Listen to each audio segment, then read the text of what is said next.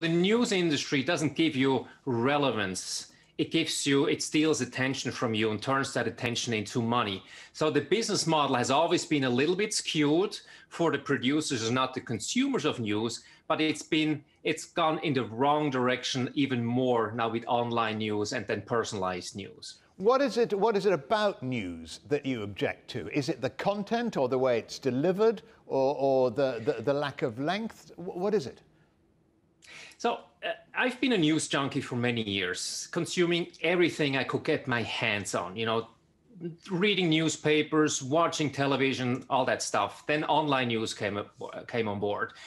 And 10 years ago, after reading hundreds of thousands of news pieces, I asked myself two simple questions. Number one, do I now make, after consuming all this news, do I now make better decisions for my life, either personal life or business life? And I honestly had to say, no, I don't make better decision because of the consumption of news. And the second question I ask myself is, at least do I understand the world better now? And also I had to say no to that. So 10 years ago, I decided to go completely without news, no, no newspapers, no online news, no television, no radio. And it's been a re very rewarding journey for me. I've saved a lot of time. I have more concentration. I think I see the world clear and I have way less anxiety.